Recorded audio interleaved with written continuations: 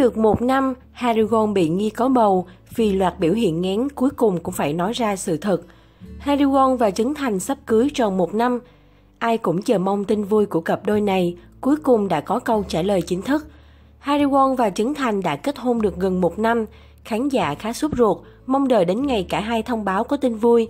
Mới đây, Harry Won đã liệt kê một loạt triệu chứng của bản thân như mắc ối, chóng mặt, nhức đầu lên trang cá nhân. Ngay lập tức, bạn bè và fan lần lượt vào đoán bệnh cho nữ ca sĩ. Nhiều người cho rằng Harry Won đang ngán và không ngần ngại nói lời chúc mừng. Biết được tin này, chắc hẳn fan của Harry sẽ vui mừng. Tuy nhiên, sự thật lại khiến fan mừng hụt. Chính Harry Won trả lời rằng do bản thân bị đói và say xe nên mới có triệu chứng đó, chứ không phải có bầu. Thời gian gần đây, nữ ca sĩ Hàn Quốc tập trung cao độ cho công việc và các dự án nghệ thuật của mình. Bên cạnh đó vẫn dành thời gian cho gia đình và bản thân qua chuyến đi du lịch Thái Lan cách đây vài ngày. Bạn bè đoán Harry có bầu, tuy nhiên cô cho biết đó chỉ là triệu chứng của đói khủng khiếp mà phải đi xe nên bị say. Nhiều người còn chúc mừng Harry Won, tuy nhiên đọc giải thích của cô nàng thì đúng là mừng hụt. Sau một năm tổ chức đám cưới, Harry Won và Trấn Thành cùng nhau trải qua khá nhiều thăng trầm. Mới đây, cô cùng gia đình đã có chuyến du lịch Thái Lan. Harry Won khá bận bịu với các dự án nghệ thuật của mình. Sau khi cưới, nữ ca sĩ gầy hơn trước, thân hình đẹp nên cũng tự tin mặc đồ gợi cảm. Ở tuổi 32, những người yêu mến Harry đang rất mong chờ ngày cô thông báo có tin vui.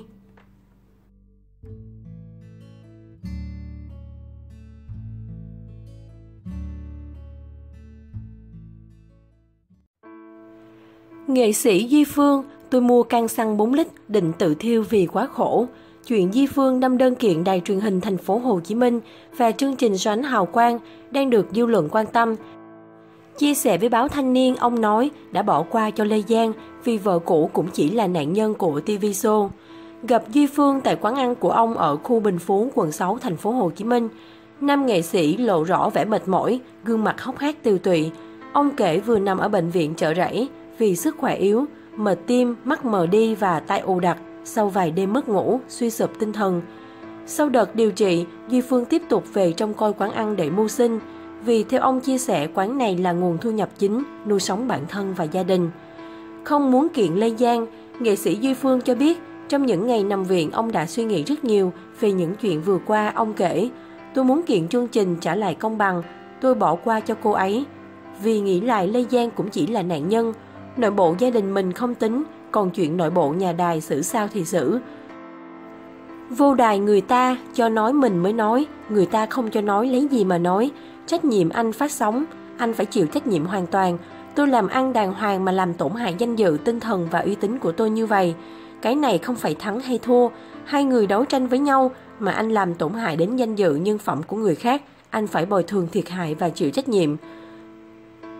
Người thường chịu tổn hại một thì nghệ sĩ chịu đến 100 lần vì cái công luận nó lớn lắm. Về phía Lê Giang, sau khi chương trình phát sóng thì cô vẫn không đính chính gì và cho biết những cái cần nói đều đã nói hết.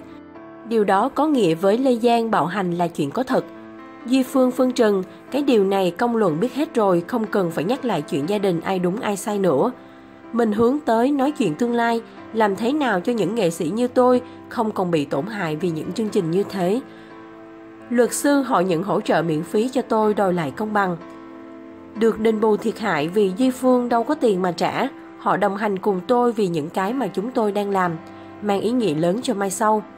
Di Phương kể thêm, từ khi ồn mào đến nay, đại diện chương trình chưa nhận họ sai, cũng chưa đánh tiếng xin lỗi ông. Có người nói tôi, họ bảo họ có nói tên Duy Phương đâu, chỉ nói nghệ sĩ hài nổi tiếng, rõ ràng anh ném đá giấu tay, cả đất nước đều biết là tôi, con người ta có hộ khẩu đàng hoàng, sao mà không biết? Nếu đài truyền hình ngày xưa, tụi tôi làm trong nhà ngoài phố, nếu có lỗi thì tôi ngồi xuống uống ly nước, lần sau đừng làm như vậy nữa. Đó là cái tình dành cho người sơ suất lầm lỡ. Mà ngày xưa làm kỹ lắm, chứ bây giờ làm ăn búa xua, các công ty nhảy vô bắt tay nhà đài làm bừa bãi, nghệ sĩ Duy Phương bức xúc. Từng mua can xăng 4 lít muốn tự thiêu, Bằng giọng xúc động ông kể, khi sân khấu dừng lụi tàn, tài sản Khánh Kiệt ra đi cùng với các cuộc hôn nhân tan vỡ, thì bản thân ông phải chọn sống bằng nghề kinh doanh quán ăn. Đây là quán thứ 8 của Di Phương sau chuỗi thăng trầm. Ngày ngày dù nắng hay mưa, ông đều ra đây để tiếp khách, chăm coi quán xá. Về hoạt động nghệ thuật, được mời thì Di Phương cũng đi diễn, nhưng không phải diễn trên sân khấu hoành tráng như trước kia, mà là những gia đình tổ chức đám cưới tân gia sinh nhật, kêu qua hát cướp vui cho hai ba trăm ngàn.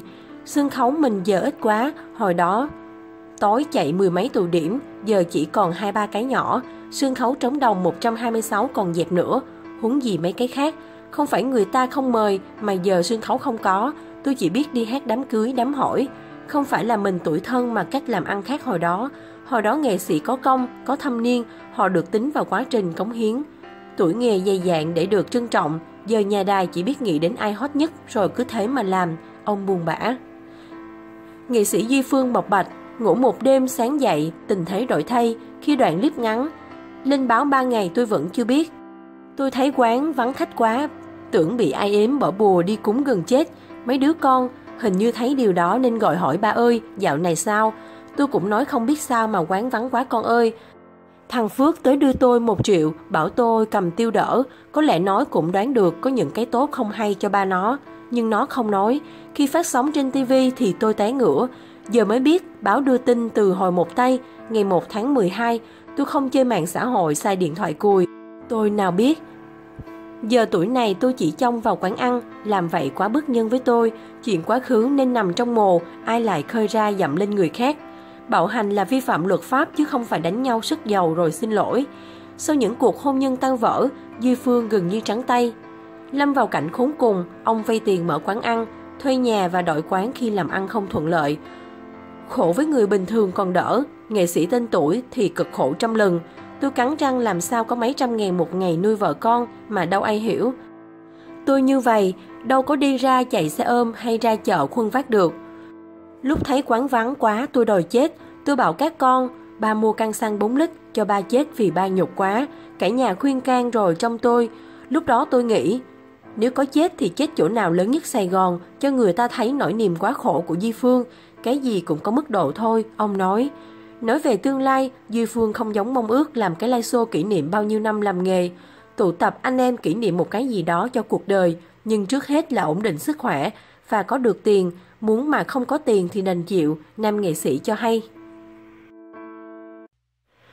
Nhan sắc ngày càng thăng hoa, Minh Hằng vẫn khiến người xem tá hỏa khi để lộ bộ phận thô như đàn ông. Minh Hằng vô tình để lộ nhược điểm cơ thể kém xinh, bước chân vào showbiz với ngoại hình mũm mỉm, khuôn mặt tròn phúng phính. Minh Hằng hiện tại được nhận xét ngày càng xinh đẹp cuốn hút hơn trước. Nhan sắc thăng hoa theo năm tháng, nhưng nữ ca sĩ vẫn khiến khán giả giật mình khi để lộ đôi chân thô, xương sẩu như đàn ông. Minh Hằng sở hữu khuôn mặt xinh đẹp thanh thoát và vóc dáng nhỏ nhắn khiến nhiều chàng trai mê mẩn. Tuy nhiên khi nhìn xuống phía dưới thì ai nấy đều bỏ chạy, bàn chân của nữ ca sĩ khá thô, dài ngoằng và xương sậu đến khó tin. Sự đối lập giữa nhan sắc dịu dàng nữ tính và bàn chân gân guốc như đàn ông khiến khán giả tá hỏa. Trước đó, nhiều lần bé heo cũng để lộ nhược điểm cơ thể này. Trên thực tế, Minh Hằng sở hữu đôi chân không hoàn hảo, với phần đầu gối xương sẩu, bắp chân to và cong, bàn chân lại thô. Người đẹp sinh năm 1987 thường phải nhờ cậy Photoshop để che đi khuyết điểm này hoặc diện những bộ trang phục ôm sát quá đầu gối.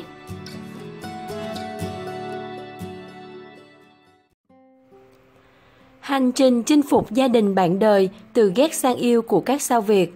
Không phải sao Việt nào cũng được người thân của chồng, vợ mình thiện cảm ngay lần đầu tiên gặp gỡ. Theo thời gian, mỗi người đều có cách chinh phục riêng để tạo nên mối quan hệ tốt với gia đình bạn đời của mình. Thủy Tiên, mới đây trên sóng truyền hình, khán giả vô cùng bất ngờ với mối quan hệ giữa Thủy Tiên và mẹ chồng. Theo đó, mẹ chồng là người bên vực cho Thủy Tiên khi con dâu vướng phải những scandal không hay. Mẹ của Công Vinh cũng hết sức thấu hiểu khi hay tin con dâu bị xâm hại tình dục lúc còn bé. Tuy nhiên ít ai biết được rằng, thời gian đầu khi biết Công Vinh yêu Thủy Tiên, mẹ anh đã từng khuyên con trai không nên yêu ca sĩ mà nên chọn một cô gái làm trong ngành ngân hàng hoặc nghề nghiệp an nhàn một chỗ. Khi ấy, mẹ và người thân của nam cầu thủ muốn anh lấy một người vợ có thể chăm sóc cho chồng con chu đáo. Trả lời phỏng vấn mẹ Công Vinh cho hay, bà rất lo lắng và không tránh sự ác cảm ít nhiều về phía bạn gái của con trai. Tuy nhiên, trước sự kiên định và tình cảm của các con, bà không có ý ngăn cản. Sau một thời gian gặp gỡ và tiếp xúc với Thủy Tiên, mẹ anh đã dần dần xóa bỏ hoàn toàn những hiểu lầm và các sự thiếu thiện cảm vốn có trước đó. Thậm chí, bà còn hết lời khen ngợi và rất hài lòng trước sự quan tâm cũng như lối sống tình cảm hiếu nghĩa của Thủy Tiên. Thỉnh thoảng Thủy Tiên lại mua quần áo quà cáp về biếu tôi, những lúc đau ốm, Tiên cũng quan tâm hỏi han sức khỏe thuốc thang nữa. Vinh Râu, vào đầu tháng 12, Vinh Râu bất ngờ bỏ cuộc chơi và kết hôn cùng ca sĩ trẻ Lương Minh Trang. Cả hai gặp gỡ nhau trong một buổi casting và ấn tượng lần đầu khi gặp nhau đều không mấy tích cực. Hai đứa mình là minh chứng rõ nhất cho câu ghét của nào trời trao của đó, Vinh Râu chia sẻ. Thế nhưng định mệnh đưa cả hai đến với nhau vào đúng thời điểm mà Lương Minh Trang chẳng còn tin bất kỳ điều gì trên đời. Vinh Râu vô tình đọc được những dòng tâm trạng của cô thì ngạc nhiên lắm. Vì sao nói giống chuyện của mình quá vậy và đã dành thời gian an ủi tâm sự, sự đồng cảm của hai trái tim đã đưa họ xích lại gần nhau hơn. Tuy nhiên, thời gian đầu Vinh Râu không được gia đình vợ ủng hộ vì cho rằng anh là diễn viên hài nên dễ có những lời mật ngọt rót tai. Bên cạnh đó, mẹ của Lương Minh Trang chê vẻ ngoài của Vinh Râu không được đẹp lắm và nhìn anh cũng già hơn số tuổi. Biết được điều đó, Vinh Râu đã cố gắng thay đổi suy nghĩ của gia đình Lương Minh Trang. Anh quan tâm không chỉ người yêu mà cả các mối quan hệ người thân của cô. Chính sự chân thành của nam diễn viên đã chinh phục được gia đình vợ. Khi ấy, mẹ của Lương Minh Trang dành khá nhiều lời khen cho nam nghệ sĩ. Khánh Thi Khánh Thi Phan Hiển là cặp vợ chồng đủ lệch gây khá nhiều sự chú ý của công chúng, từ khi yêu nhau đến khi về sống chung một nhà. Khi cả hai quyết định tiến đến hôn nhân, không chỉ có khán giả mà ngay cả gia đình cũng rất ngỡ ngàng. Thời điểm đó có rất nhiều thông tin cho rằng gia đình chồng không chấp nhận chuyện con dâu lớn tuổi. Khi ấy, cũng không có bất kỳ khoảnh khắc nào được ghi lại giữa Khánh Thi và bố mẹ Phan Hiển, nên đã làm khán giả tin chuyện cô không được lòng gia đình chồng là chuyện có thật. Tuy nhiên, trước thông tin này, Khánh Thi hoàn toàn phủ nhận.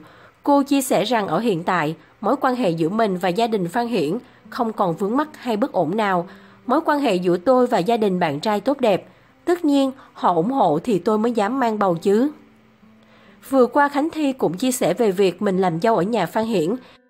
Theo đó, cô được bố mẹ thông cảm cho công việc và luôn hỗ trợ cô chăm sóc con cái. Cô cho biết mình làm dâu khá thoải mái, mọi việc đã có, giúp việc lo và bố mẹ cũng không yêu cầu con dâu phải làm gì.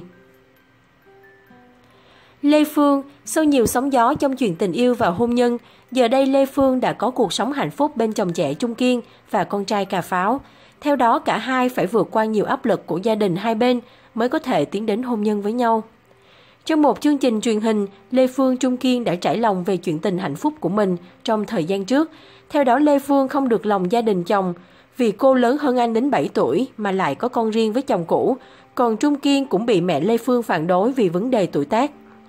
Tuy nhiên, vì tình yêu của cả hai quá lớn, nên họ đã cố gắng làm mọi thứ chứng minh cho gia đình hai bên thấy được quyết định của họ là đúng đắn, Đến hiện tại, không chỉ hai bên nội ngoại đều ủng hộ, mà ba mẹ Trung Kiên cũng hết sức yêu thương con riêng của Lê Phương.